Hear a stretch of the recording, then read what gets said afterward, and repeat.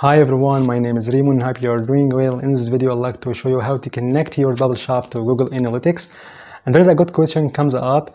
Is it very important to connect your bubble shop to Google Analytics? The answer is yes, because when you link your shop with Google Analytics, you can know the stats of your shop visits and you can also know how successful your promotional campaigns are on social media.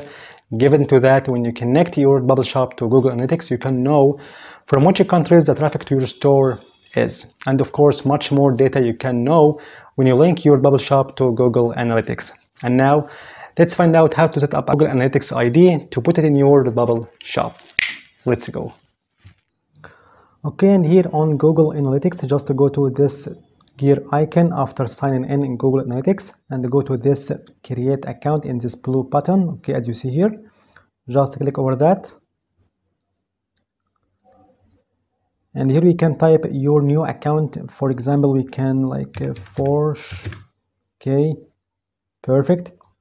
You can check this google products and services. You will find these items are checked already. Click next. Okay and here we can just type again your account. Forge, for example. You can choose your country okay as you see here your currency we can choose United States dollar for example okay.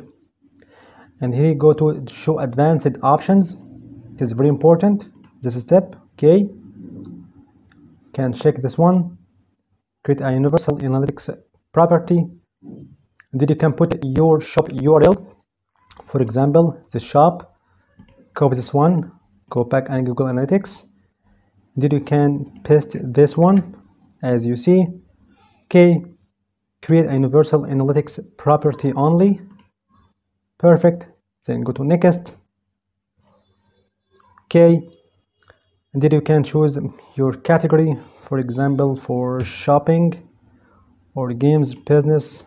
Okay business size small and here is this reasons. You can measure customer and optimize measure optimize analyze my online sales and so on. For example just go create.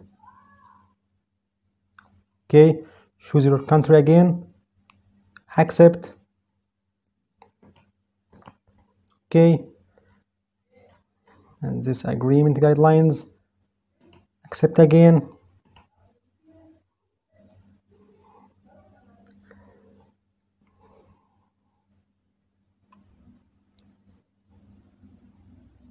and here we are your tracking id just copy this id okay copy that and back to your bubble shop or your spring shop or spread shop and go to this google analytics. And here you can put your id here.